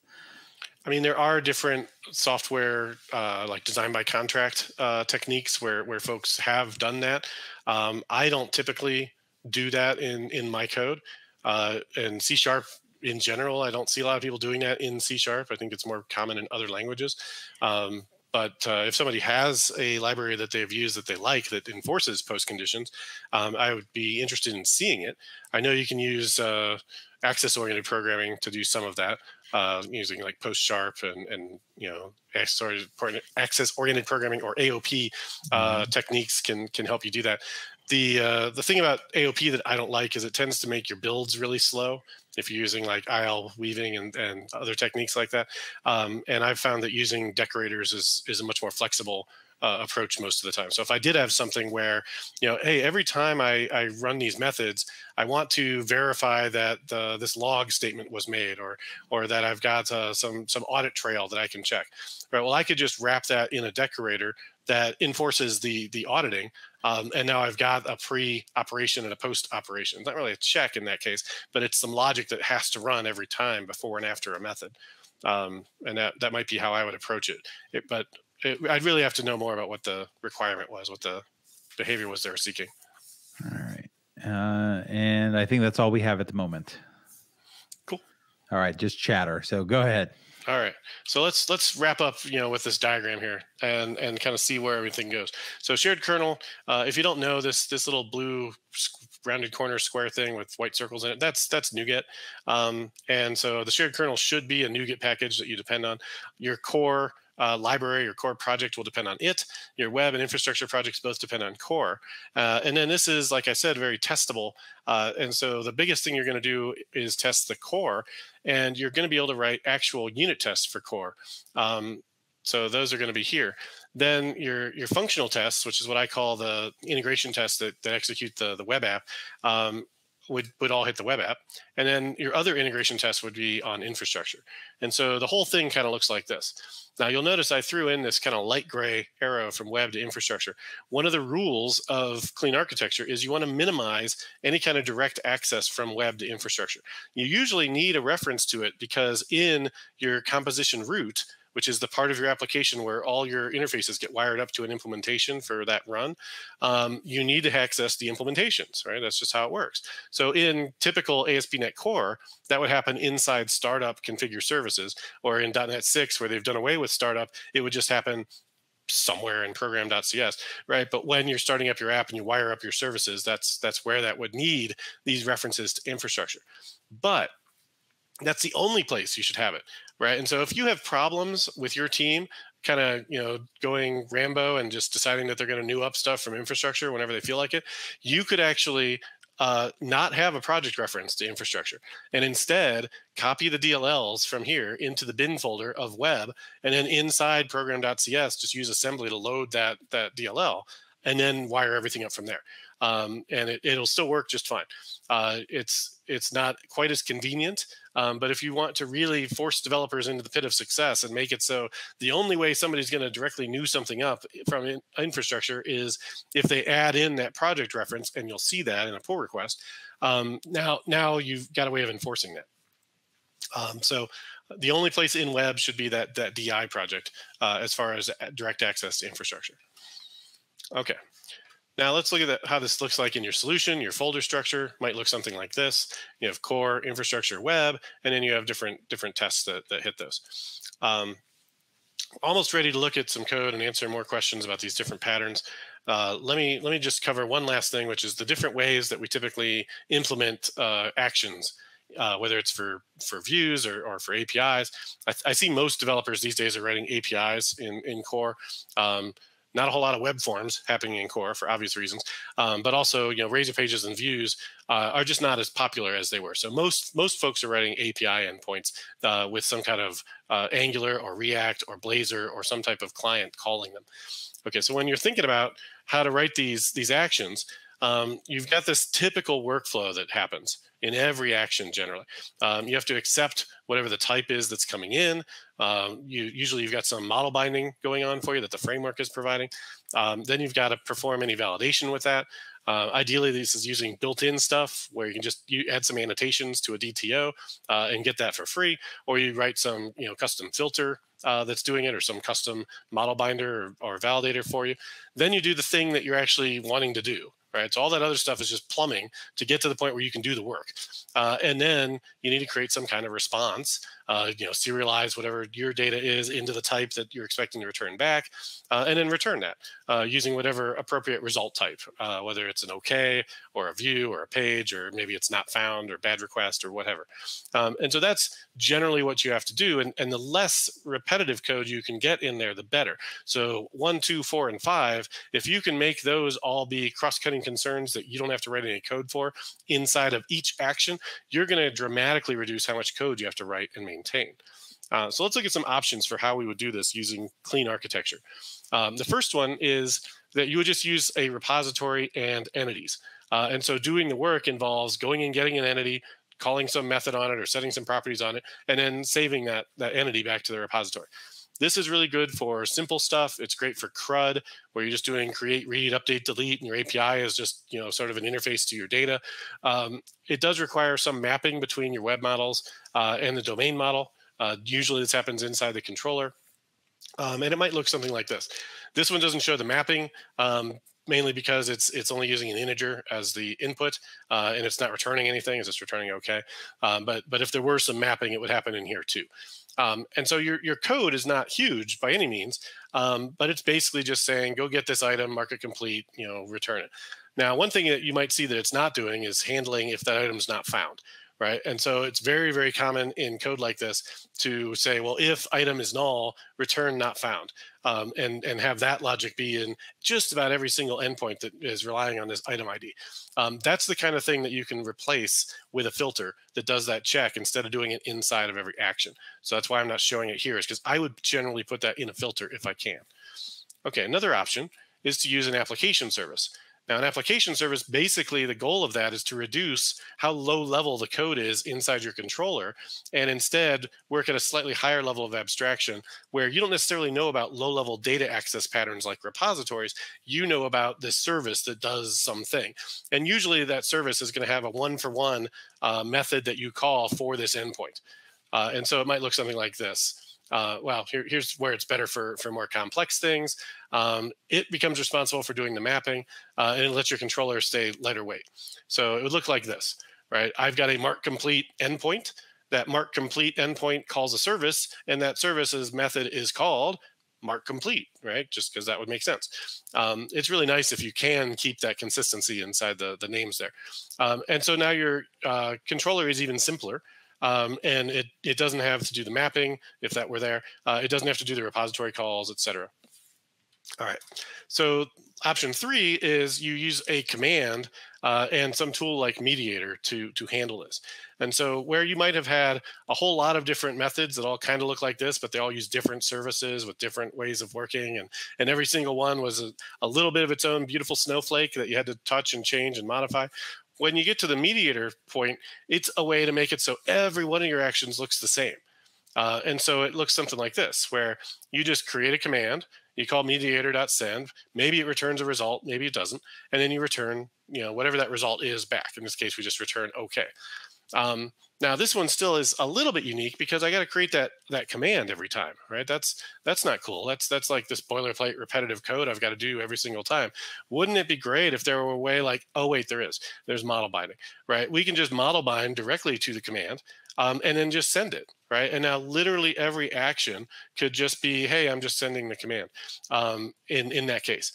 Now, you can even take this a step further, which I have, uh, by, by creating all of your controllers so they only have one action, and that action is the handler. Um, and that's called uh, the API endpoints project that I have. Um, and you can also use, there's, there's, another flavor of that called fast endpoints um, that actually uses the new uh, syntax, the minimal API syntax in ASP.NET 6, ASP.NET Core 6. Um, so you could use that one as well. Okay, but I just want to show you um, there's different ways that you can organize the controller level um, if you're using controllers to to make it so that you don't have as much duplicate code to take cross-cutting concerns and, and get rid of them. Um, even getting rid of the, the commands inside of uh, how you send the mediator by just pulling those in from model binding um, the the less code you can have in your controller, the better, because you know it's really hard to test controllers. It's hard to unit test them. Um, you can certainly test them with functional tests, and I do, uh, but I don't want to have to write uh, individual tests for a lot of hairy logic in the controller itself. It's much easier to do that with unit tests, and it's much easier to write unit tests in my core project than it is inside my web project. Um, and so that's why I can do something like you see on the screen here and make it so there's very, very little code in the controller, which means there's not much that can go wrong. Right? What do I need to test here? There's nothing here to test. Right? It just does one call to mediator and returns okay. Like that test would be would be useless. Right? Oh, a unit test. Right? A functional test we'll, we'll still use. Okay. Um, let me stop again for a couple questions, if any are there. Uh, let's see. I looked away for a moment. There was a lot of discussion about um, a couple of your previous slides, but I don't think there was a question per se. Um, cool. Yep, that looks good. I see somebody's a fan of API endpoints. We'll look at that okay. in a sec. Uh, yeah, yeah. Don't don't let your developers just new up things from projects that they shouldn't be. That's that's the what I was trying to prevent. Okay, so let's look at uh, a couple samples here. So the first sample is eShopOnWeb. Uh, eShopOnWeb is a reference architecture from Microsoft. It's open source. I'm one of the primary maintainers uh, of it.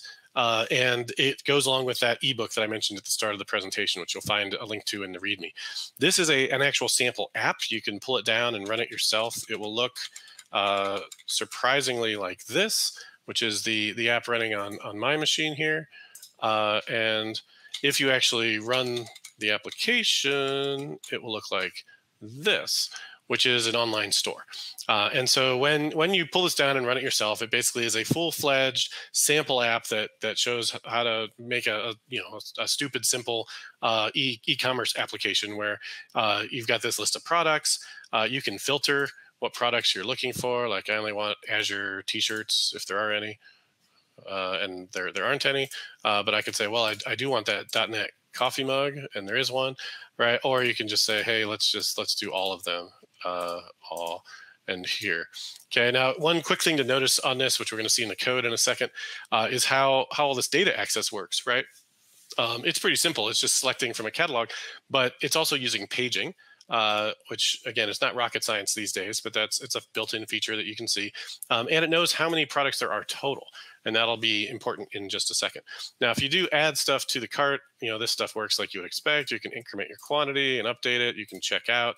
It'll ask you to log in. Uh, we can log in as the admin user or as a demo user. If you log in as the admin user, you'll get access to a Blazor WebAssembly uh, backend that lets you manage the products.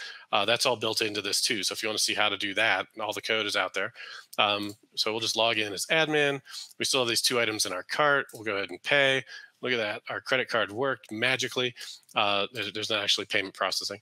Um, you can go see your orders. You know, here's this order. We can look at the detail. There's the thing um, that I bought previously.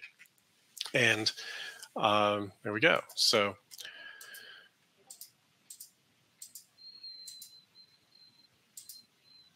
Yeah. All right. That's what I ordered. I was thinking like, wait, I thought I bought the mug, but no, I bought this thing. All right, good. I was like, did I just find a bug? Was worried there for a sec. Okay. So now let's look at the code. So inside the code for eShopOnWeb, if we close all the things and we look in the source folder, you're going to see there's a few more than three projects. Now, when this when this thing was first started, uh, it just had web, infrastructure, and core, right? But when we added Blazor, uh, a couple years ago for the WebAssembly bits, um, we added a Blazor shared project, which has the the DTOs and other other types that are shared between the client and the server. Um, there's also the, the Blazor project itself, which is this one here. Uh, so that added two more. And then it, it, seemed worthwhile to make the API endpoints separate as well. So I took the APIs that the Blazor client leverages and I put them in a separate API project. Um, one of the things that let us do also is, is use endpoints uh, as a different way of showing how to structure those APIs instead of using controllers. Uh, and so you can see all, all that in there. Now, if we look at the web project and we see, well, what happens on that home page, uh, we can look at the pages. If you haven't used Razor pages um, and maybe you thought they were icky because they're kind of like web forms, they're not. They're they're controllers that are just you know using the page uh, object structure, but they basically operate just like the MVC controller does. Um, I love them because they put everything in the same place, so I don't have to go into the controllers folder and then the view models folder and then the you know views folder. Right, I can just go into the pages folder, and if I want to see what goes on with index, here's my view right here, and then here's my action right here. Like they're they're together. They're like literally coupled together in the UI. Um, and so I don't have to go spelunking around in the solution structure trying to find all the types. They're all right here. All right. This is the, the, the view model. This is the action, and, and the, the view is the page CSHTML. Okay.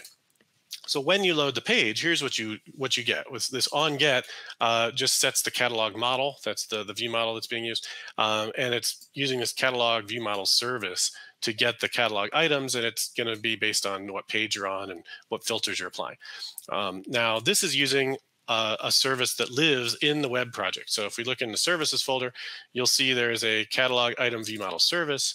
Uh, that's not the right one. Catalog view model service, and it basically goes and stitches together all the data needed for that page, right? So um, zoom in a bit to the solution explorer is not clear. Oh I apologize for that. Let me see if I can uh, let me run ZoomIt. That'll do it. I don't have ZoomIt running.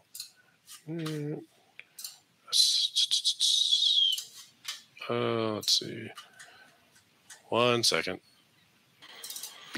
Windows key plus also works because you'll get magnifier. Trying that. All right, we'll there do magnifier. Go. That's faster. And then cool. Windows key escape to get out of it. Yeah, thank you. I haven't done that in a while. All right, so here, here's where we are. So this was in pages. Here's that index CSHTML. Um, and then in services, here's that catalog view model service. All right, Windows Escape. I haven't had to zoom in a while because uh, I, I, don't have people at the back of the room that can't see. So I'm used to, you know, everybody being able to see it uh, 12 inches from their face. All right. So here's here's that method, right? So that method is kind of kind of big. It's doing a lot of stuff, and that would have been inside of a controller action or a Razor page, um, but we pulled it into a service so that that page could be simpler. Uh, and then this now becomes much more easily tested because it's not relying on any of the web stuff, right? It's independent. Now inside of here, I want to point out that the the query logic is not in here right? So instead, there's these two specifications that are doing all the work for the query logic. The first one uh, just includes the brand and the type that they chose. And then the second one is able to get just the, the page of results that they're interested in. Um, and so one of those is used here to get a list of things to show. And one of them is used here to get the total items so that we can display the total uh, as part of that paging view. The other thing that you can do, because this is um, you know using this common service and this this interface is we can add caching to this but i don't have to make this already long method any longer right i, consider any method that's so long that i have to scroll to see it as, as being too long uh, and this one just barely fits at a reasonable font um, and so you know when i want to add caching i don't want to add to this uh, method that's already doing too much, I can put it in its own class that's basically a decorator. Uh, and then here's the code that does the caching. And so this is following single responsibility principle, and it can be added uh, in the in the startup in the composition root for this app. So I could do something like you know turn on caching by by adding this decorator, uh, and then turn it off by by just configuring something inside startup. And I could load test it and say, well, does caching make a difference to performance? How much of a difference does it make? What does it do to my database load? Yada yada yada. Right? It makes it really easy for me to do experiments uh, and see how how these different techniques impact the the real performance of the application. Okay. Um, so let's look at those specifications real quick. So in application core, what goes in here? Well, this is all the stuff that's not related to infrastructure. And so we've got our entities, they're organized into aggregates. So for instance, a basket includes a basket and a basket item. Um, that's an aggregate because they get stored and retrieved from the database as a unit. Um, inside of here, we have some custom exceptions like basket not found. Um, we have uh, all the interfaces that we're using. There's some services in here for, for dealing with things. Uh, and there's the specifications. So let me uh, zoom in on that again, since I know people will want to see that. Uh, here's here's the whole thing, right? I'll scroll up a little bit. So there's there's the entities and the aggregates, um, exceptions, interfaces, services, and specifications. Okay. I keep forgetting I have to zoom. Sorry. Okay. Um, now let's look at the one that was used on the homepage. So back here, we were saying there's a catalog filter specification and a paginated one. Um, and so let's look at what that looks like. So the catalog filter specification is right here. Uh, and it is very, very simple. It is just using a LINQ expression, the same LINQ expression that you would send to Entity Framework or, or use with iQueryable or whatever. Um, but instead, we're putting it inside a specification so that it's reusable, so that it's testable, so that it's not you know mucking up our code everywhere else. Um, it's it's only in one place, and, and it has a name that's really obvious what it is. It's the you know the catalog filter, uh, and so it's it's very clear what this thing is doing. Uh, the paginated one is here as well. It's slightly more complicated, but but not by much. It just does the paging with a skip and a take, uh, and it has the the where logic and, and some default information um, to pull in the, the, the items, right? And so all that logic is again in here instead of adding extra junk to our our actions in our API endpoints or in our pages or views, um, and so that's that's the the specification. Um, this uh, this one doesn't have any domain events, so I'll show you those in a second. But this is the like I said, reference architecture uh, and sample. The the other code that I want to show you here is uh, my clean architecture template. And so the clean architecture template is right here. Is this it? Yeah. Uh, and and so it's not a sample application. Um, it is meant to be just a template. Uh, and so if we go to it on GitHub, let's go here and here. This is it running actually, but then the uh, the GitHub project is here. We'll open that, uh, and you can actually run this as a template using .NET New, uh, which which I can show you real quick. So let me uh, bring up PowerShell and go to a Scratch folder. And did it, did it finally finish? There we go. It was being really slow for some reason. So down here, if you scroll a little bit, you'll see that this template is available on NuGet, and you can install it using this code right here. So we'll copy that, and we'll bring PowerShell up here, and just paste this in. And I've already installed it, so this is really fast, um, or should be really fast. It's already installed. It's going to be replaced with version dot. Well, that doesn't sound good. 6, 6010, the one that I already had is uninstalled and then reinstalled. Okay, I guess if you need to do that, that's fine. All right, so then then what? Well, now you come over here and you just run this one. So we'll just copy that. And I just want to show you this really does work. So we'll paste this in here and we'll call this uh, Hampton Road dot user group. And the thing that this is nice uh, as, as opposed to just like cloning or forking my repo or, or downloading a zip file, um, is that now when when this is in there, we go to cd ham there and ls and that there, uh, all the namespaces and files and everything are, are set correctly. Um, and so as soon as this opens up, you'll see it's the solution has got the right name. The projects all have the right name. The uh, types in here all have the right namespaces. Namespaces are even using uh, this semicolon uh, file scope namespace feature, which I love. Um, wish we'd had that forever ago. Uh, and that's a that's a new C sharp, whatever latest version 10, I guess, feature. Um, but but it's really nice. It makes it so you don't have extra indents on all your classes. But all this stuff is set for you by the template. Okay, so then the uh, domain events are the thing I really want to show you in here. So this is not a full-fledged sample app. Like I said, this is it. Uh, here's the code. This is it running right here. And the main thing that you would look at here is the the Swagger API docs. This is live um, with that app. Or you can look at these Razor pages. That one apparently didn't work. Some uh, SQLite's not working locally, um, which means these probably won't work either. I'm not sure what's going on there, but that's all right. We don't need it to work for me to show you the code. Um, and since it's not a sample app, it doesn't really like do a whole lot. Uh, it just has a few little things in here just to kind of show you how some of the patterns work. Uh, and then you just delete that stuff because you won't need it when once you're once you get going. Um, it does have a shared kernel project. The thing you would do with this is create a new repo, copy this into it, publish it to your internal NuGet feed and get rid of this project from from this solution, right? Your shared kernel should never be in the solution um, that you're working on. It's, it's just provided here so that you know what to put in it. Uh, and so it has all the shared, you know, base classes and things that you would that you would expect to, to have. Um, the domain events I want to mention real quick. So the the sample code in here is this is this notion of a project, right? And a project uh, is is like you know some project you've got around the house or at work that you're trying to get done, and a project is composed of a number of to-do items or tasks, if you will. Uh, and so there's this list of to-do items here that the project uh, consists of, and then you might do things with the project, like you might add items to the project, or you might uh, mark tasks as being complete. Um, and when you do those things, there might be events that, that are triggered that result in downstream effects occurring. So whenever you add an item, it adds the item after it verifies that it's not null, uh, and then it raises this event. Um, if you look at an item itself, um, instead of letting someone just set the is done property, uh, we have extra behavior that we might want to have triggered when that occurs. Uh, and so we're making it so you have to call the mark complete method. This is you know following domain driven design. So we're we're encapsulating our internal state. We're exposing the operations that are allowed through well named methods. Um, and then in here, uh, it's only going to mark it as done if it's not already done. Um, and then it's going to add this to do item completed event. So, so what does that do for us? Well, let's say we have a requirement that says we need to send somebody an email whenever a task is complete. Okay, well, we could put the email logic right here, right? We can say, okay, is done is true right here, uh, send an email. Okay, but how are we going to do that? Right? We're in the middle of our core project in our domain model.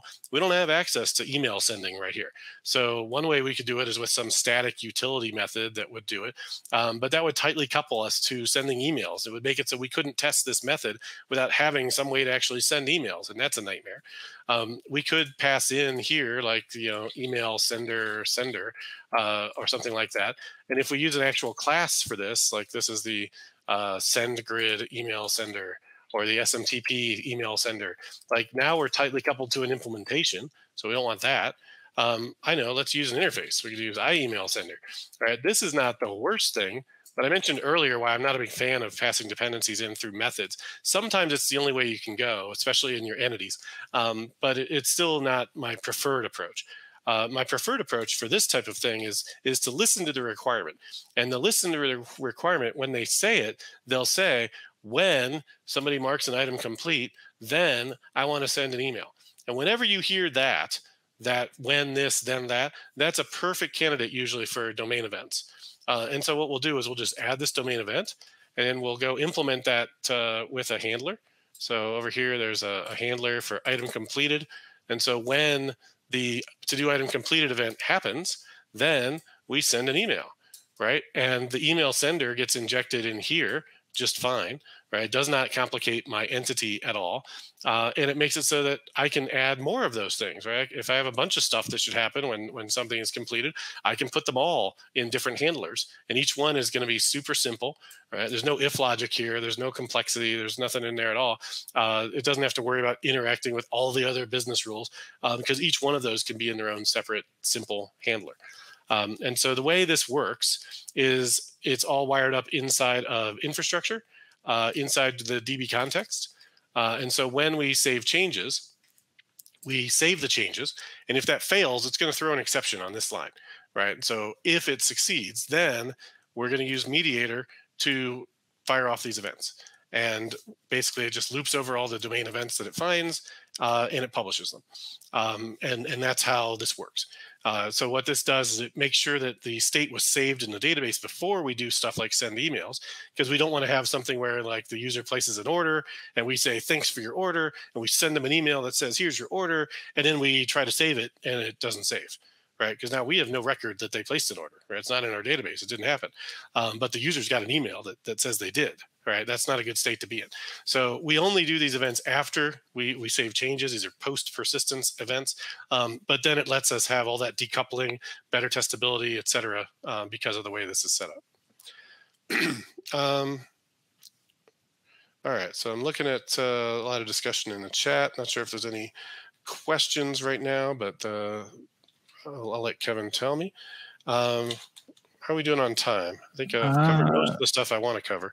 I think you're fine on time. Actually, there was a question from a couple topics back that I didn't see and uh, I Okay. would like to revisit. Um, it was uh, what are Steve's thoughts on using packages instead of DLLs in the case of developers misusing the infrastructure project? Most of the time I don't do the DLL copying trick. Like usually I, I trust the developers that are on the team, so I just use project references. Um, but if you really did need that level of control, then it's it's really easy to go into you know infrastructure uh, and and go to properties and and have a post build action uh, that would that would do this right. So like post build right here, copy to you know dot dot whack uh, you know web whack bin or whatever right and so this is what this is what i've done Yeah. um, now you could say that every time we build we're going to publish this as a package as another NuGet package um, but then that means you're just going to have all kinds of NuGet packages and I, I wouldn't recommend that like that's just going to make it more difficult for you to to you know work with the the system i think it's going to cause a lot of friction um, so i i have not tried that and and i don't think it would end well if i did um, but if someone else is having success and wants to tell me why it's the best thing since sliced bread, I'll definitely listen uh, and maybe update my my opinion. Let's see. Other than that, uh, there's some discussion about shared kernels. Um, other than that, just regular chatter. No, not necessarily questions. Anybody wants to say, "Hey, Steve, I want to see this uh, in here." And uh, well, I guess the other thing I'll show you is functional tests real quick. So when I'm talking about how I write tests for these APIs, um, you know, like a, a list projects test would look something like this. And so I, I have another NuGet package. I have a couple NuGet packages. I have a problem, um, but I have a NuGet package called Ardalis HTTP client test extensions, and it has things like this: get and deserialize. Because I got tired of writing the same four lines of code every time to say, go get me this response, and then go get the model, and then deserialize it to this, and blah blah blah. Um, so here is the thing that I'm getting. That's the uh, the path. Um, and this is the thing I'm deserializing it into. And then this is just a one liner uh, that I can just do to get the result and then, you know, do my assertions. Um, and so that's, that's how easy your, your tests for your APIs should be. Um, ID is, is similar. Uh, you know, here's my, my two tests for that. Um, I noticed that the uh, SQLite wasn't working, but I think my test should still work. Let's find out. No, those all pass. They run so fast you can't even tell. Uh, let's run all of them.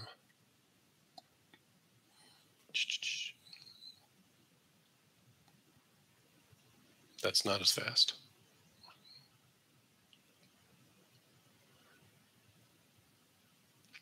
If you ever watch my Pluralsight courses, whenever I run a test, I always edit out of all this stuff. So it's like, you know, they're always super fast in pre-recorded Pluralsight, but live, sometimes they take time. This thing lies. Look at this. 1.7 seconds, 600 milliseconds, 84 milliseconds. Like we all sat here and watched this thing spin for 10 seconds. I don't know what it was doing. The build had already succeeded, so I don't know what they were doing. Um, but okay, so yeah, the functional tests are the slowest as you would expect because they're they're doing the most um, at 1.7 seconds. That's most of that startup time. Um, and then I've got some integration tests that just verify that uh, you know the repositories do what they're supposed to do, and then you know a lot of unit tests that verify the logic. And again, this is a solution template, not a full-fledged sample app. Um, but here is code that when you when you install this template, which you just watched me do, um, uh, that's why I'm in the wrong one because this is the one that I just did for this. All right, so here's the one that I just did. That's the new the new template version. The other one was the the actual source of clean architecture. Um, so here you just watched me do this one.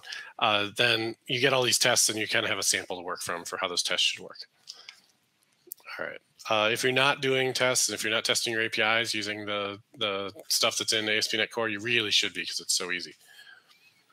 Um, I see someone mentioning Respawn. Respawn's a good tool uh, for for using a DB. It'll still be order of magnitude slower than than unit tests, but it does let you do closer integration testing um, if you want. That was the general question above it. Uh, was do you have a good example for testing against databases? Yeah, there's some of that in here. Um, so so the uh, you know this where, where's my test down here uh, in the functional tests right? The, the main thing that makes these things work is this custom web application factory. Uh, and so there's, there's a few uh, things you can do in here. Um, I'm seeding the database with this test data before every test. Uh, and so this, this create host creates a new instance of the ASP.NET Core application before every test, right? And so this runs n times, where n is how many tests I have. Um, and then in here, uh, it is, excuse me, um, because this is just a sample, it's just using uh, whatever whatever database provider is, is configured in uh, in the main application. I think um, I haven't looked at this one in a while, but a lot of times you can use the in-memory provider, uh, or you can use SQLite uh, as well. And and there's there's lots of resources online that show how to how to set it up however you like it. Uh, if you want to use a real database, if you want to use SQL Express or, or even a real SQL server, you certainly can. Um, you just wire it up here, uh, and and whatever you put in here with these services is is going to um, actually sorry it's down here down here, whatever you do in this configure web host um, is going to adjust how it works in, in this case. So there's my in-memory database I was looking for. Um, and so this one is using the ASP.NET Core, I'm sorry, the Entity Framework Core in-memory uh, data store for the tests. Um, but like I said, you could modify this to use um, SQLite or, or something else if you wanted to. Okay. Uh, all right, let me jump back to slides where I think I have like a couple last things. There's the clean architecture URL. Here's the template that I talked about. Um, let's talk about API endpoints real quick, and then we'll we'll be done. So, code walkthrough, resources, blah blah blah. Um, you guys don't care about that. So I'm going to go to the API endpoints. Let's start with the, the repo real quick. If you haven't heard of it, uh, it is not linked from there, but we'll go here and go to Ardalis, and it's on my homepage, API endpoints. It's got 2,000 stars. That's crazy. Um, and so in here, basically, it has the, the docs and everything you would expect. Um, we're up to version 3.x. You can get it from NuGet, which is, or sorry, on version 4.x. My bad. Um, do I need to update the docs? I don't know if I need to update the docs, but uh, here it is on NuGet. For some reason on my machine, all my pages take like two seconds before they load. I haven't figured out what, it's doing. Maybe it's a Chrome thing. Um, but yeah, it's it's doing all right. It's got some downloads. Uh, it's still nowhere close to like guard clauses, but it's it's a decent little package. And here's here's what it does for you. So um, let me go open it in Visual Studio API endpoints. I might already have this open, but We'll just open another instance. That's why I have lots of RAM. And uh, we'll look at the sample. So the sample endpoint app uh, is here. And instead of having controllers, you have endpoints. So we'll just Windows zoom in here. All right. And so we have these author endpoints. And what you can do with an author is you can create, delete, get uh, one of them, get a list, uh, update them, or even list them as a, with a JSON file. I forget what that is. Uh, I think I think somebody had a question about how to do file access with endpoints, so I added that just to, to show it. Um, but this is the the endpoint, right? What you would normally have in a controller as an action, or if you're using minimal APIs as just some Lambda function somewhere, you've got an actual class you know the C sharp way of doing things um, that represents that that endpoint. Uh, and when you want to work with that endpoint, you have a model for what is its input or its command, uh, what what does someone send with it, and what is the result or the response? What do you get back from this endpoint? And just like with Razor pages, they're they're right here. They're chained to it, uh, and so you don't have to go hunting around to find the things. They're they're literally right with it. Um, and so when you double click on this and get out of Zoom, um, here's basically what it looks like. Every endpoint has a signature like this, where it inherits from a base uh, endpoint base, and it has uh, a fluent generic interface, right? So it kind of helps you out with with how to write this, where you can say dot with request or without request, and say, well, you know, let's let's say I just want to list all the customers or list all the authors, uh, and I don't have a parameter right? Well, then I could just say, well, I don't have a request. Okay, that's fine. Um, what's my result? Well, I can say with, and I've got a few different types of results. Um, you know, if you're doing a delete, maybe you don't have a result, right? So you could say without result, right? It's it'd be pretty weird to have an endpoint that had no no input and no output, but you could you could do it. Maybe something like reset database or something. Um, but yeah, you could you can give it an action result or a result, uh, either one. Um, a result would be uh, you know like a particular you know DTO or something like a create author command or, or something like that. Um, but it kind of helps you drive that right here. Um, and then what those generic types are used for is this handle async method. So when you say I'm, I'm returning a, an action result as my result, that means this is going to be a task of action result. And when I say my request is a create, create author command, that's what comes in here as, as the request. Okay, so then uh, all you have to do is implement the code right here, right? So that's that's your whole endpoint. Now, if you're using MediatR to achieve this now, what you have is a whole bunch of useless skeletons of controllers that all just delegate to mediator.send. And then you have a whole folder full of handlers that do this right? And so all this does is it gets rid of the middleman, right? You don't need MediatR for that. This this just becomes your handler, right? Every handler gets replaced with an endpoint, and every endpoint is basically taking in a command and returning a result, just like your MediatR handlers are. Um, so if you're using MediatR for other stuff, which is definitely great for a lot of things, then by all means keep MediatR. It's a great tool. I use it a lot. But if the only thing you're using MediatR for is to make it so your controllers can become these vestigial structures that just call out to handlers, then ditch that and just use these endpoints instead. It's it's a better pattern in my opinion. Um, and that's that's pretty much it. Like if you look at the code itself, it's it's really trivial. So uh, the source for um, the API endpoints, if I can even find it, uh, there it is, uh, is is right here, um, and it's you know endpoint base inherits from controller base, and then the Fluent generics you know just is a little bit of, of extra code here. Um, I didn't invent this pattern; somebody else did, uh, and so if you Google for Fluent generics, you'll find it. Uh, I think I give them credit in the uh, um, README file as well. But it's it's a really nice way to handle something that has generic inputs and outputs um, like this. Uh, and then there's some extension methods. Oh, the other thing that this does for you. No, sorry, I'm thinking of a different project. Different project. Never mind. Um, yeah, that's it. That's what API endpoints does. Um, then the other one I mentioned, which I, have been looking at, it's it's it's a competitor of mine, uh, essentially, but it's it's a, a really nice site. It's got great documentation here. These fast endpoints, um, and it does essentially the same thing um, as as my tool does. Uh, you can see they use a similar structure, like endpoint of my request, um, but they're they're claiming that because they're using the the new minimal APIs, which it says in here somewhere probably, um, that it's it's a little bit faster, right? And so if performance is super important to you, which I mean, it should be at least a little bit important to you, um, then you might want to check this one out too. Uh, and when I get around to it, I have a lot of stuff going on, so it may be a little bit. Um, I may try and, and, adopt some of the same ideas from from here, or at least you know, like them, adopt the minimal API stuff uh, into my version as well. Right now, mine's all based on the controller stuff.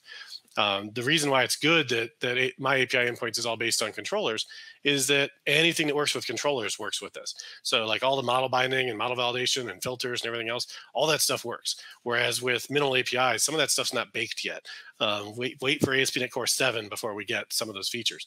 Um, and so we, all those features are there already in this one. And so if you've got stuff that's already in controllers, you're using the controller ecosystem, if you will, um, you can carry all that over into these endpoints. Um, and all you get is a better way to organize your code. All right, that is pretty much what I've got, except for any questions people have. All right, friends, this is your last chance. Uh, there will be a recording available to this, um, so don't worry about that. A lot of folks working late tonight. Can I get a recording? Yeah. Okay. Yep, we'll take care of that. Covered that.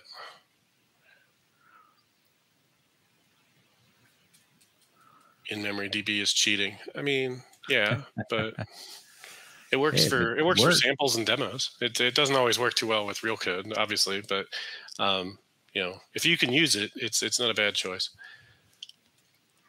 Um, the other thing to think about when you're doing those functional tests with the uh, uh, custom web application factory, you don't have to use the same custom web application factory for every test, right? So maybe you have some tests that you could use in memory for, and other ones that you need to use a real database for.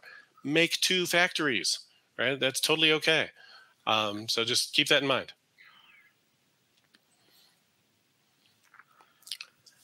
Alrighty.